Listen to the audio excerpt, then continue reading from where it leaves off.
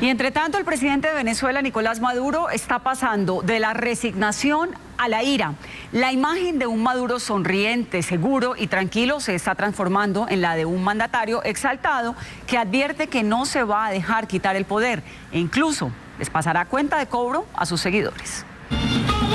El discurso de Nicolás Maduro, su rostro y su lenguaje verbal parecen cambiar con el paso de los días desde que la oposición se llevó una victoria arrasadora en las urnas.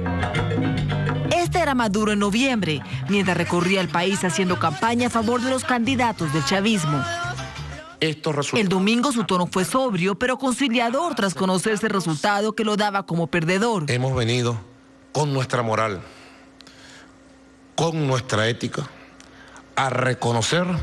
Pero en las últimas horas, Maduro es otro. Si ellos toman el camino del revocatorio, bueno, vamos al combate. Y como si esto fuera poco, empezó de paso una campaña de advertencias para quienes no votaron por el oficialismo. Yo quería construir 500 mil viviendas el próximo año.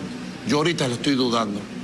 Pero no porque no pueda construirlo, yo puedo construirlo, pero te pedí tu apoyo y no me lo diste. Y ayer salió a las calles de Caracas, evidentemente alterado y ya no tan reconciliador ha triunfado una contrarrevolución fascista sin respetar las reglas de juego, utilizando las reglas de la democracia. Y ahora está amenazando al pueblo de quitarle las misiones, la educación, la ley del trabajo. No aceptaré ninguna ley amnistía. El presidente venezolano también le ha advertido a la oposición que no permitirá amnistías a favor de los presos políticos ni un proceso que revoque su mandato.